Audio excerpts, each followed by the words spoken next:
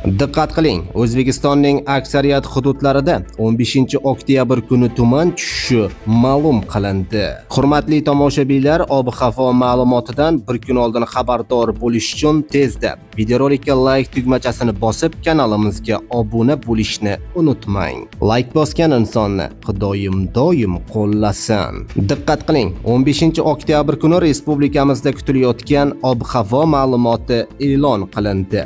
Unga ko'ra Toshkent shahrida havo o'zgarib turadi. Harorat kechasi 4-6 daraja iliq, kunduzi esa 17-19 daraja iliq bo'ladi. Qoraqalpog'iston Respublikasi va Xorazm viloyatida harorat kunduzi 12-17 daraja bo'ladi.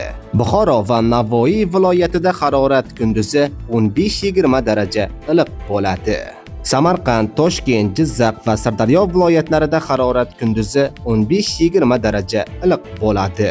Qashqadaryo va Surxondaryo viloyatlarida harorat kunduzi 17-22 daraja, kechasi esa 5-10 daraja iliq bo'ladi. Andijon, Namangan va Farg'ona viloyatlarida harorat kunduzi 15-20 daraja bo'ladi. Respublikamizning tog'oldi va tog'li hududlarida havo o'zgarib turadi. Yog'ingarchilik kutilmaydi. Harorat kechasi 2 daraja sovuq, 3 daraja iliq, kunduzi esa 8-13 daraja iliq bo'ladi.